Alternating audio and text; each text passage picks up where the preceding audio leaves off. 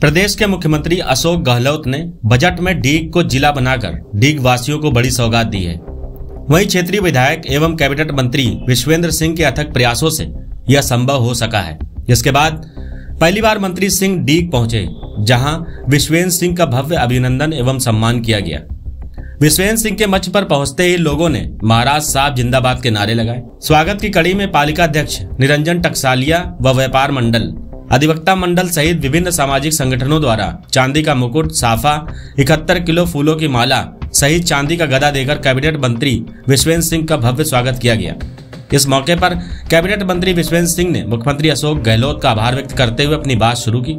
मंत्री सिंह ने लोगों को संबोधित करते हुए कहा कि उन्होंने डीग वासियों से वादा पूरा किया है। उन्होंने डीग को जिला बनने के बाद नगर, कामा व पहाड़ी सीकरी के बसिंदों को बड़ा फ़ायदा होने की बात कही है। इस अवसर पर Kumher SDM Varsha Meena additional SP रघुवीर सिंह कबिया तहसीलदार पुष्कर सिंह सहित पुलिस बल व प्रशासनिक अधिकारी और हज़ारों की संख्या में लोग मौजूद रहे।